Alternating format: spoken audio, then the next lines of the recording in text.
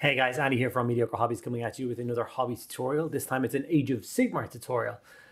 I did focus primarily on 40k for 2022 and I did promise everybody that in 2023 I would be branching out and doing more of the Age of Sigmar and Lord of the Rings stuff. So to that end, I'm going to be working through the Slaves to Darkness range, the new range that Games Workshop just dropped um, in an entire playlist so you guys can see those models in action.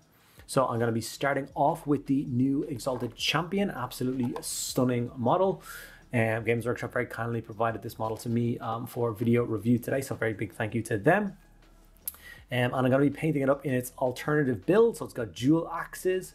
Um, I'm going to keep the armored head because it's really cool. And I'm going to be painting it up in the Nurgle scheme, so it should be a lot of fun. Before we get to the video, I want to say a huge thank you to all of my patrons. You guys are awesome. Without you, I could not keep the lights on and the cameras rolling. For any out there interested in joining my Patreon, just know that as of 2023, there is a bunch of new perks for joining the community, including a extra video every single week that's just for Patreons. So that means 52 extra videos in the year for you guys. So if you want to know all about that, click on the links below. Without further ado, guys, let's get into the video. Okay, so this is the beautiful new Exalted Hero of Chaos. When I actually opened the box, I didn't realize it came with the option for the dual axes, which reminds me of a kind of an older Chaos Warrior champion that I used to have in metal, so nostalgia grabbed me and I had to build him that way. I gave him my normal Grey Seer spray, and then after that we moved straight on to contrast. So I used Plaguebearer Flesh as the first color for all the plate armor on this model. I'm basing my um, Slaves to Darkness army around the Nurgle uh, Chaos God. Nurgle is by far my favorite Chaos God, so I intend to do quite a large Nurgle demon army along with a Slaves to Darkness, uh, Beastman, and basically everything is going to be themed around Nurgle, so they're all going to have matching bases. Meaning I can play quite large games if I choose to, or pick and choose different units from different armies and build kind of a crazy army. It's a bunch of different ways of doing it. So after the Plaguebearer Flesh applies all the armor panels, it's time to move over to uh, Contrast Black Templar. And this is for all the parts that are in between the panels. Plus I use it for the wraps on his, or the halves of his axe. And there's a couple of other little details around the model. Nothing crazy. Ribbons that hold on his uh, necklace and stuff like that. This is a fairly quick step just to get a few of the, I call them gubbins, just the extra bits of the model that you're not really sure what color they're supposed to be. You can always just black those in. Um, and as long as it's not a focal part of the miniature, nobody knows about them, nobody cares about them, no one will be looking at them, so it's fine. After that, we're going over to Gore-Grunta Fur. I swear under that filthy pot it says Gore-Grunta Fur. And this is for any of the leather strappy bits, so he's got one big belt around his waist.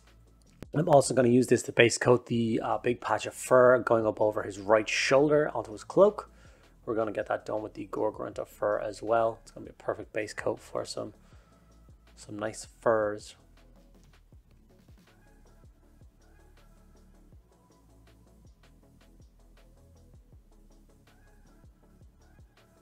So uh, normally, it would be um, like that. The Nurgle would be kind of a darker, grungier scheme. I quite like them to be a little bit cleaner looking.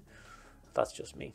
Skeleton Horde was used as the base coat contrast for all of the bone work. So he's got a protruding horn out of his shoulder pad.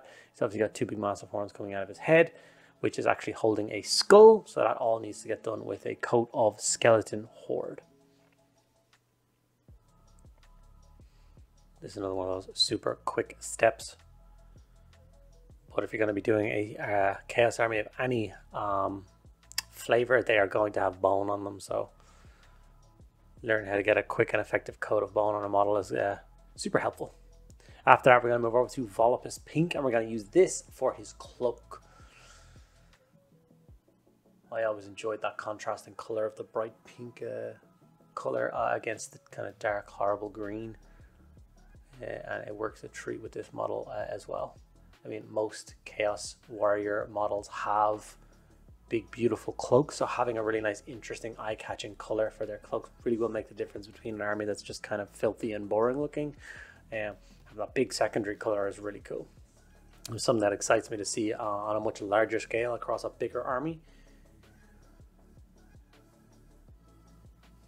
I also did his plume there with the Volupus pink. He's got a big headdress plume. I decided to use matching colors. Balthasar gold was used to base coat in all of the metallic trim parts on the armor. So all of the protruding kind of eight-pointed stars uh, across the armor were done. His belt buckle was done. The symbol on his uh, shoulder guard. And if you pay attention to the horns coming out of his helmet, there's basically uh, metallic parts on the top and the bottom of the horn. So we're going to get those all done with the the Balthasar gold as well, as well as some details on his right hand axe. This is another thing that works really well, that kind of brassy tone with the Nurgle. It just, it's just it's such a nice scheme. It's actually quite an enjoyable scheme to paint as well. Some schemes look fantastic, but they're actually quite tedious and annoying to do. I didn't find that at all with uh, painting this guy. Like if you told me I'd turn around now and handed me a squad of 10 Chaos Warriors, said paint them up to match this scheme, I'd be more than happy to go away and do it. Leadbelcher was used for all the other metallic parts of the miniature, so that of course means the blades of his axe and all the chainmail and stuff hanging down from the model and any other details that you like. Obviously, some of the trim, you just don't have to paint in Balthasar Gold. If you want it to be silver, you can do that too. If you want his belt buckle to be silver, if you want, you can do a different model to model. That's just a personal choice. Uh, with the silver applied, that will bring all the base coats to this miniature to a close. So it's now time to wash it. So for that, we're going to move over and Agrax Earthshade the model just to kind of darken it all down. While the Agrax Earthshade is uh, drying, I'm going to base the miniature. I'm going with my standard gray basing scheme, which I'm doing for basically every Chaos model that I own. So I can do that thing I said at the start where I can mix the armies together. They'll all be on the same basing scheme, they'll all match in, and it'll work a treat. I actually do all my 40k Chaos the same because obviously demons can go between 40k and fantasy. So in order to keep it simple and uh, the whole way through, uh, I stick with the same scheme. It's a very simple scheme. And after I watch, the model really does look fantastic. It looks very nurgly. Um, and if you really needed to paint an army fast for, say, a tournament, you could leave it at this stage. Get the whole army up to that stage, and I think they look fantastic. We're going to take it a few steps further here on this video, though. So we're going to start with the Death Guard Green, eh, and we're going to be layering up all of the plate armor.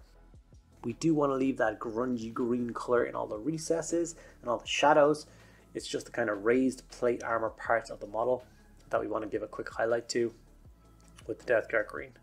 This will pull the model back towards that kind of neat look, which I actually like for Death Guard. I keep saying Death Guard, I do apologize for the Nurgle Chaos Warriors.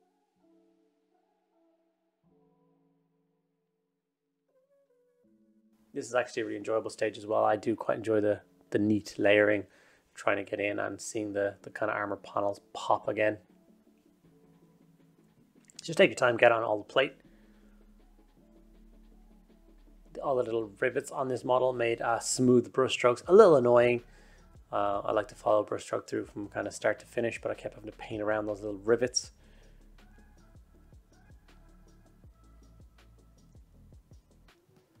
Okay, once the Death Guard green is done, we're going to go to Mournfang brown and we're going to layer up the uh, belt and fur. So any of those bits we did the Gore-Grunta fur at the start, we're going to layer up with a bit more Mournfang brown. Another super quick, super easy step.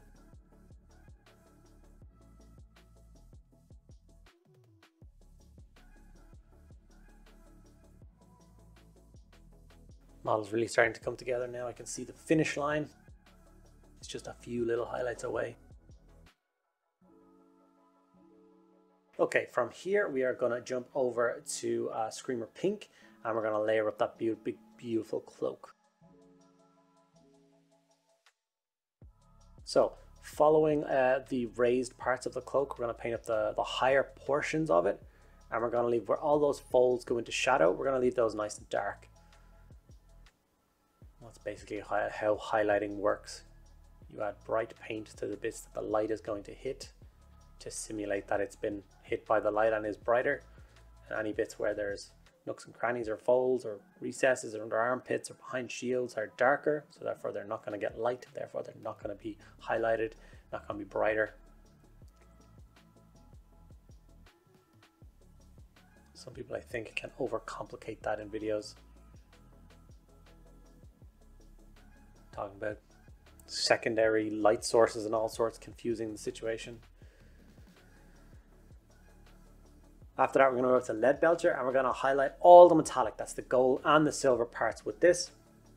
when it comes to touching up the Balthasar gold bit, it's just going to be a few touch highlights. So as you can see here, I'm just basically hitting the sharp points and corners. I'm not trying to get like a silver coat across the entire piece.